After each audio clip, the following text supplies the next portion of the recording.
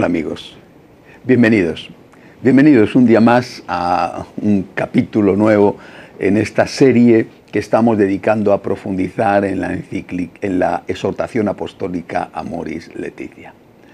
Una exhortación importantísima, una exhortación no exenta de polémica. Y hoy en este capítulo vamos a entrar en el nudo más duro de la cuestión, que si Dios quiere lo, terminaremos en el programa siguiente, en el capítulo octavo, aquel en el cual se afrontan el tratamiento que el Papa quiere que se dé a las personas que están en condiciones, como él dice, de fragilidad, o lo que antes se llamaba en condiciones irregulares. Eh, creo que hay que empezar por repetir lo que dije ya desde el primer momento. La Iglesia ha sido y es madre. La Iglesia ha sido y es maestra. Lo dijo San Juan 23, madre y maestra, mater et magistra. Como madre, la Iglesia ha sido y es y debe de ser acogedora a todos sus hijos, a esos heridos de la vida, que decía San Juan Pablo II, en ese hospital de campaña que está detrás de la, de la primera línea de batalla, como, como pide el Papa Francisco, acoger a todos, a todos sin excepciones, a todos, acoger. Pero a la vez la Iglesia es maestra, la Iglesia tiene que enseñar la verdad, la Iglesia tiene el deber de transmitir el mensaje dogmático y ético que Jesucristo dejó y que fielmente durante dos mil años ha mantenido, a veces en medio de las más durísimas persecuciones. Si la Iglesia no hace eso, eh, eh, está incumpliendo su misión. Si no es madre, si no es maestra, está incumpliendo su misión. Y, y hacer estas dos cosas no siempre va a ser fácil. Por eso, cuando sobre todo un texto resulta en algún punto menos claro, hay que hacer aquello que aconsejaba el cardenal Cafarra y que les leí a ustedes en el primero de los capítulos de esta serie. Voy a volver a leerlo. Decía el cardenal, si el Papa hubiera querido cambiar el magisterio precedente, que es clarísimo, habría tenido el deber y el deber grave de decirlo clara y expresamente. No se puede cambiar la disciplina secular de la Iglesia con una nota y además de tenor incierto. Estoy aplicando un principio interpretativo que siempre se ha admitido en teología. El magisterio incierto se interpreta en continuidad con el precedente. Es decir, en caso de duda, en caso de duda, y a veces lo hay, lo decía también el cardenal Cafarra, si no, no habría habido este cruce de opiniones dispares después de la publicación de la exhortación apostólica, en caso de duda se aplica en continuidad con el magisterio precedente. De lo contrario, el Papa tenía que haber sido muchísimo más explícito, lo expliqué también en el primer capítulo, diciendo cómo, primero, la categoría de la exhortación está en el tercer nivel de, de exigencia de adhesión, y segundo, no ha habido una explicitación de un cambio de doctrina, que es lo que hubiera tenido que hacer el Papa si esto hubiera querido hacerlo. Bien, vamos a entrar ya en este, en este capítulo octavo. Lo primero es el título, porque el título dice ya mucho del contenido. Acompañar, discernir e integrar la fragilidad. Eh, eh, el Papa quiere, repito, que la Iglesia sea madre sin dejar de ser maestra. Sin embargo, esta acogida no significa falta de rigor no significa que todo sea para todos, refiriéndonos en concreto a la Eucaristía. Para esto es para lo que hace falta el discernimiento. En la exhortación apostólica se habla, en estos casos, de discernimiento. Yo me sorprendo de verdad como cura. Me sorprendo de que esta palabra a algunos le resulte nueva. Es lo normal. Es lo que los sacerdotes, los obispos, hemos hecho toda la vida en el ejercicio de la cura de almas, de la atención a la gente, tanto en el confesionario como en la dirección espiritual, discernimiento, pues sí es lo normal, sí es lo que llevamos haciendo siempre. Pero un discernimiento basado en el respeto a la enseñanza de la Iglesia y después también en tener en cuenta esas circunstancias de cada persona. La norma objetiva dada por la Iglesia en cuestión moral es siempre y debe de seguir siendo siempre la norma suprema de moralidad. Y después la conciencia se convierte en la norma última, es decir, la norma que aplica esa norma suprema al caso concreto, pero nunca yendo en contra de la norma suprema. Lo dice el Papa Francisco en la, exhortación número 291. Los padres sinodales han expresado que aunque la Iglesia entiende que toda ruptura del vínculo matrimonial va contra la voluntad de Dios, también es consciente de la fragilidad de muchos de sus hijos. Iluminada por la mirada de Jesucristo, la Iglesia mira con amor a quienes participan en su vida de modo incompleto, reconociendo que la gracia de Dios también obra en sus vidas, dándoles la valentía para hacer el bien, para hacerse cargo con amor el uno del otro y estar al servicio de la comunidad en la que viven y trabajan. Aunque siempre propone la perfección e invita a una respuesta más plena a Dios, la Iglesia debe acompañar con atención y cuidado a sus hijos más frágiles, marcados por el amor herido y extraviado, dándoles de nuevo confianza y esperanza, como la luz del faro de un puerto o de una antorcha llevada en medio de la gente para iluminar a quienes han perdido el rumbo o se encuentran en medio de la tempestad. No olvidemos que a menudo la tarea de la Iglesia se asemeja, y aquí cita esa frase que ya se ha hecho famosa del Papa, a un hospital de campaña. La había dicho antes, desde el principio la ha dicho el Papa esta idea, desde el principio de su pontificado. Insiste, a continuación, la exhortación apostólica en presentar el matrimonio cristiano con claridad, sin que eso signifique que no haya cosas positivas en otro tipo de uniones. En los capítulos precedentes he hablado, he citado las palabras del Papa que con toda claridad distingue qué es el matrimonio cristiano y qué son otro tipo de uniones que no se pueden equiparar a ese matrimonio cristiano y que es una injusticia contra la familia si se equiparan. El matrimonio cristiano reflejo de la unión entre Cristo y su iglesia, se realiza plenamente en la unión entre un varón y una mujer, que se donan recíprocamente en un amor exclusivo y en libre fidelidad. Se pertenecen hasta la muerte y se abren a la comunicación de la vida, consagrados por el sacramento que les confiere la gracia para constituirse en iglesia doméstica y en fermento de vida nueva para la sociedad. Otras formas de unión Papa no especifica, pero creo que en la mente de todos está bien claro. Otras formas de unión contradicen radicalmente este ideal. Un inciso. El Papa habla muchas veces de ideal y algunos le han criticado por eso. Quizá tenía que haber sido más claro en el sentido de que la palabra ideal se presta a confusión. Cuando el Papa dice ideal, no dice un sueño que si se consigue bien y si no se consigue no pasa nada.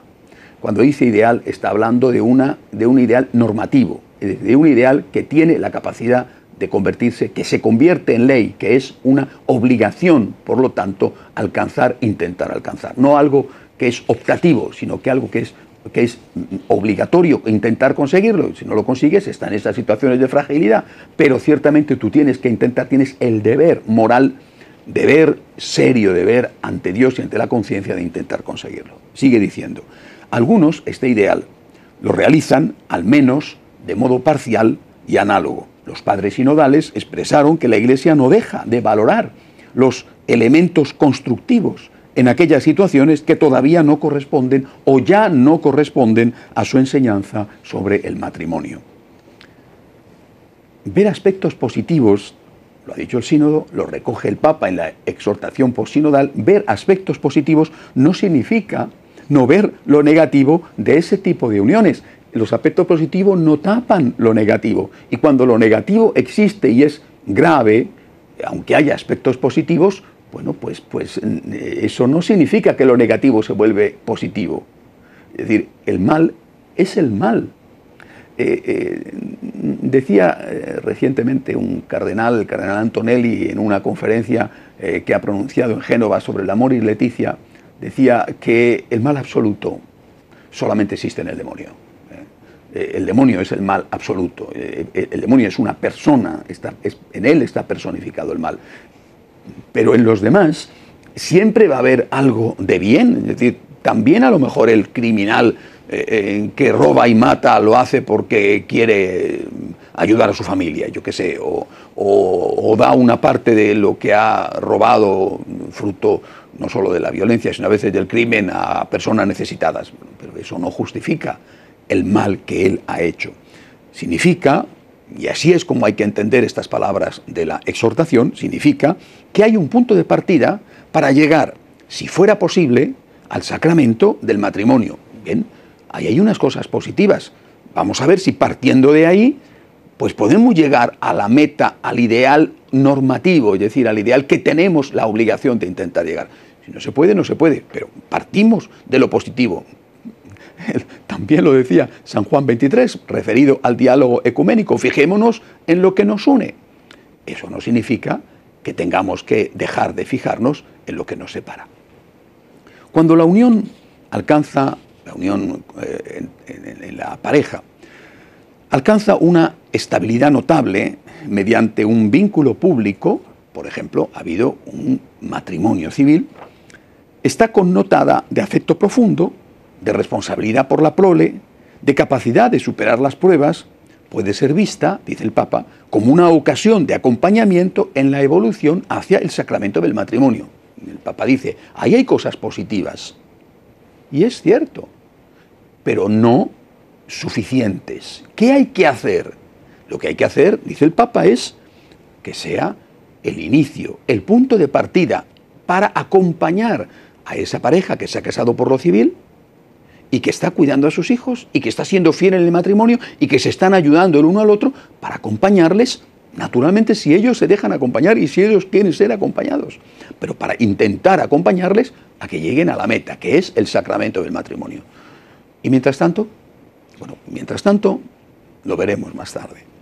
El Papa vuelve a lamentarse, como hiciera en los anteriores capítulos, del rechazo que el matrimonio suscita entre muchos jóvenes, del aumento de los divorcios, e insiste en que hay que acercarse a ellos, pero para, por supuesto, darles amor y cariño, no para darle la razón, sino para intentar que vayan dando pasos adelante. Este es el objetivo del Santo Padre.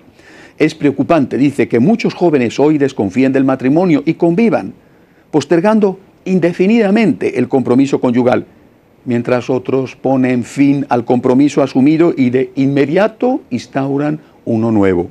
Ellos, que forman parte de la Iglesia, necesitan una atención pastoral misericordiosa y alentadora. No dice otra cosa. No está diciendo hay que darles la comunión. Dice necesitan una atención pastoral que sea misericordiosa. Por supuesto que sí.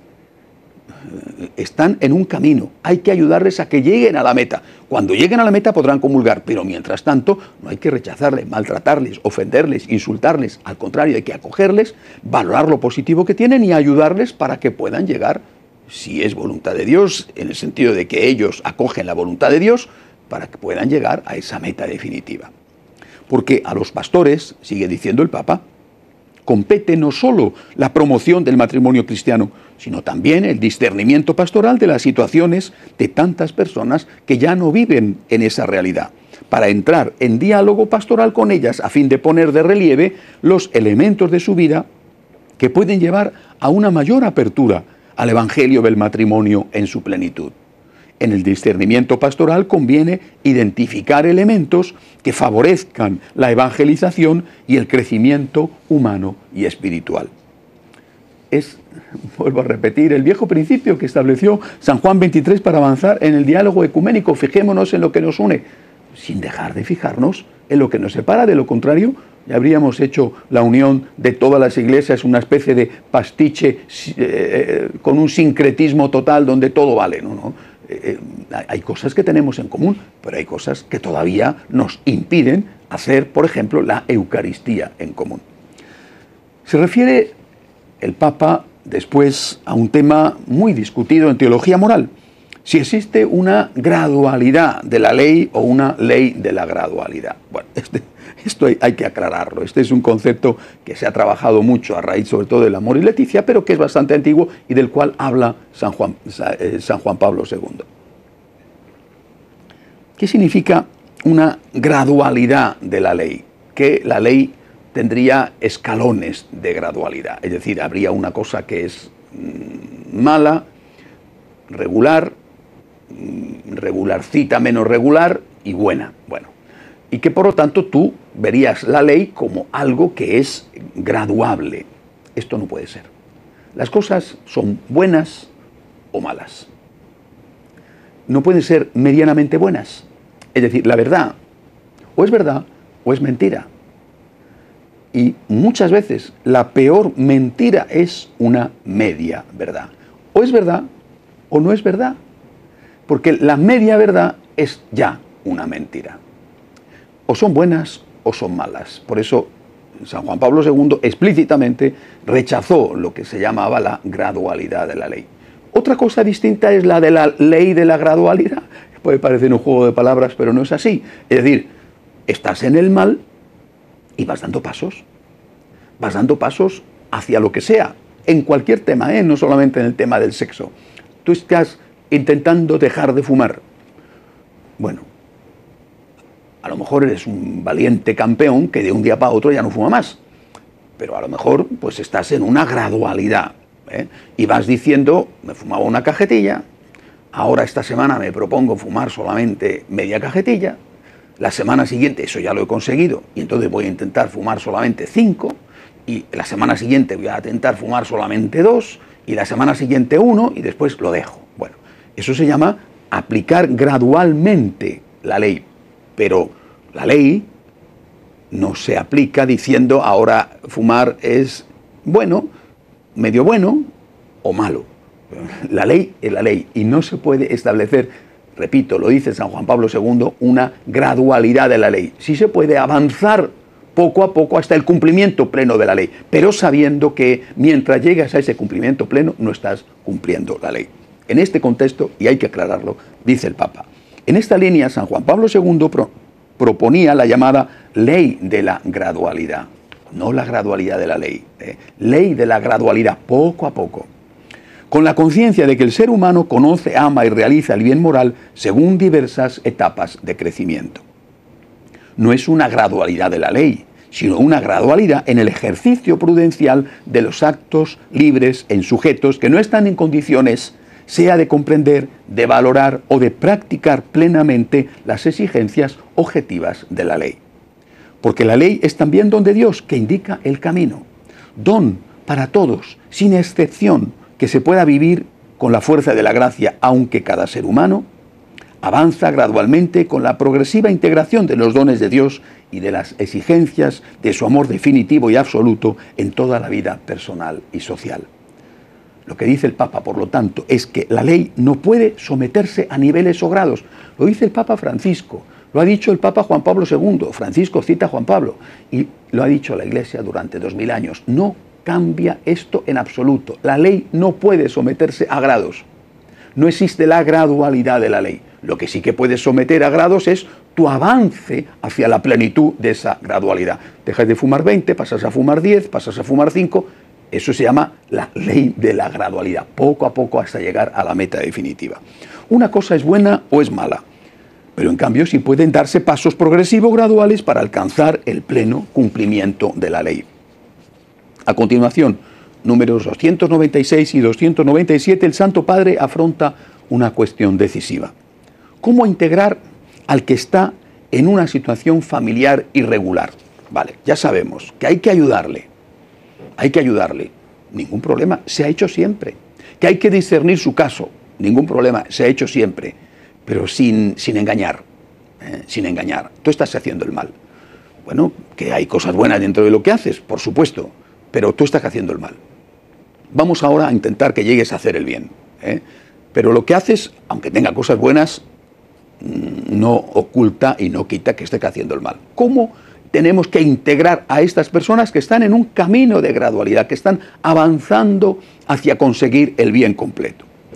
Empieza por pedir que el juicio sobre esa situación tenga en cuenta las circunstancias en que está esa persona. Hay que evitar los juicios que no toman en cuenta la complejidad de las diversas situaciones y hay que estar atentos al modo en que las personas viven y sufren a causa de su condición.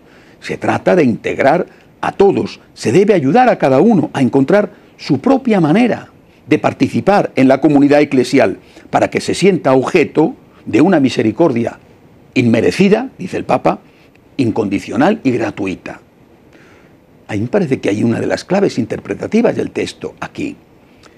Este encontrar su propia manera no implica necesariamente que esa manera sea la de comulgar el cuerpo y la sangre del Señor. Será encontrar tu propia manera, sí, pero tu propia manera será participar de una forma o de otra en la vida de la iglesia, por ejemplo, en un grupo de oración, por ejemplo. ¿eh? participando en la Santa Misa sin necesidad de tener que ir a comulgar. Es decir, encuentra tu propia manera. Eso no significa que como tú no has llegado a la plenitud, puedas recibir lo que va inherente a esa plenitud, que es la comunión. A continuación, sin embargo, hay una expresión que ha dado pie a interpretaciones diversas y que ha sido considerada por muchos como una fuente de confusión. Nadie puede ser condenado para siempre, porque esa no es la lógica del Evangelio. No me refiero solo a los divorciados en nueva unión, sino a todos, en cualquier situación en que se encuentren. Aunque el Papa no lo dice explícitamente, ahí pueden entrar también las personas que viven en una unión homosexual o los que conviven sin casarse. La cuestión es cómo interpretar lo de que nadie puede ser condenado para siempre. Cristo habla en el Evangelio de la condena al infierno, por ejemplo, cuando en Mateo 25, 41 dice, apartaos de mí, malditos, id al fuego eterno que ha sido preparado para el diablo y sus ángeles. Por lo tanto, es obvio que con esta frase del Papa no puede querer decir que el infierno no existe o que nadie se condena. Estaría en una contradicción directa y explícita con las enseñanzas de Jesucristo, con las enseñanzas recogidas durante dos mil años por la Iglesia. Por tanto, ¿qué, ¿qué, es lo que el Papa quiere decir? Esta frase hay que interpretarla, por lo tanto, de otra manera, con esta hermenéutica de continuidad que estoy repitiendo, que es la que hay que aplicar. Eso significaría que la persona, esa persona que está en una condición irregular, esté en la condición en que esté, siempre puede arrepentirse. Esto es lo que significa. Esa persona siempre puede arrepentirse, siempre puede pedir perdón, siempre puede cambiar de vida y siempre puede reintegrarse plenamente a la comunión de la iglesia. Es decir, siempre puede abandonar la situación irregular en la que está. Siempre puede eh, eh, o deshacer ese segundo matrimonio, o casarse si estén en una situación de convivencia, o dejar de tener relaciones homosexuales si es eso lo que tiene. Siempre puede hacerlo, o si no deshace su matrimonio, vivir dentro de él, por ejemplo, en continencia. Esto es lo que significa esta frase, esta palabra que ha sido a veces por algunos malinterpretada. Que este debe ser el criterio interpretativo lo indica el párrafo que viene a continuación y que es tremendamente duro hacia aquellos que defienden doctrinas contrarias a la doctrina de la Iglesia.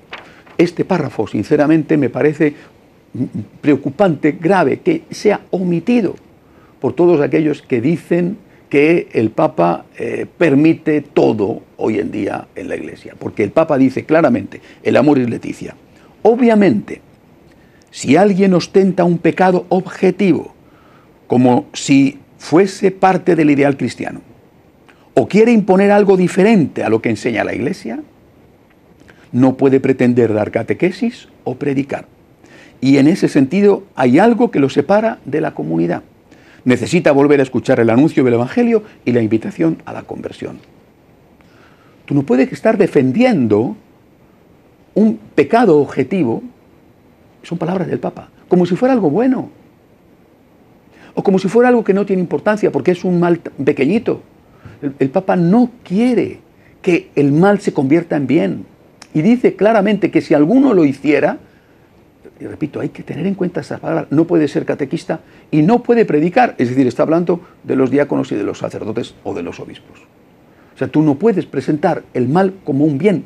Jamás la Iglesia lo ha hecho. No lo puede hacer. El Papa no puede hacerlo. Vuelvo a recordar aquella frase de San Juan Pablo II cuando dice no a la eh, eh, ordenación de las sacerdotisas. No dice eh, no admito a la mujer al sacerdocio, dice no puedo admitirlo, no tengo poder para ello. Es decir, los papas, este, los anteriores, los siguientes, son conscientes de que ellos son custodios, no dueños del mensaje, que han recibido y que tienen que transmitir, que son los primeros vigilantes de que ese mensaje se tramita íntegro que haya una evolución del dogma, pero no en un sentido de contradecir el dogma anterior, sino que haya una evolución a la hora de poderlo explicar mejor o de poder sacar las conclusiones que las nuevas circunstancias están eh, requiriendo, porque no había esos problemas antes.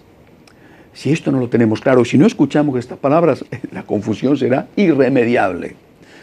¿Cuántos sacerdotes y catequistas están hoy predicando doctrinas contrarias a las que enseña la Iglesia?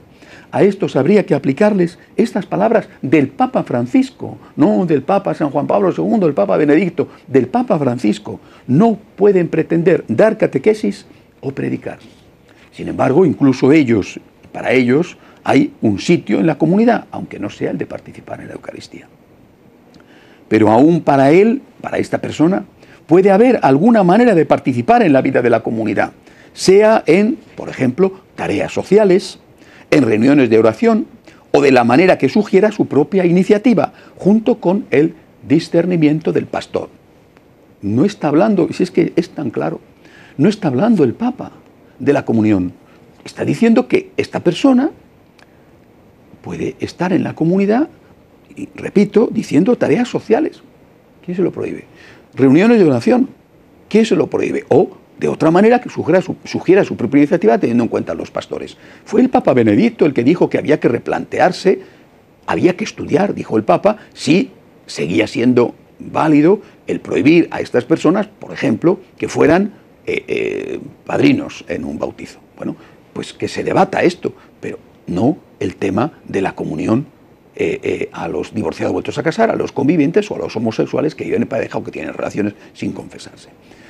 Bien, Queridos amigos, este es un tema, como he dicho, importantísimo, profundo, que da efectivamente para mucho más. Por eso ya les dije que este capítulo octavo, tan importante, tan polémico, pero realmente tan importante, vamos a verlo en dos programas. Eh, termino por hoy, les emplazo a que nos veamos la semana próxima para continuar con ello. Y le vuelvo a recordar, la iglesia no cambia, porque la iglesia tiene sentido solo desde la fidelidad. Decir a alguien en la iglesia que es conservador no es un insulto. Lo mismo que no es un insulto decírselo a alguien que está eh, preservando los cuadros de un museo. Es un privilegio, claro que sí. Yo tengo que conservar el qué, el depósito de la fe.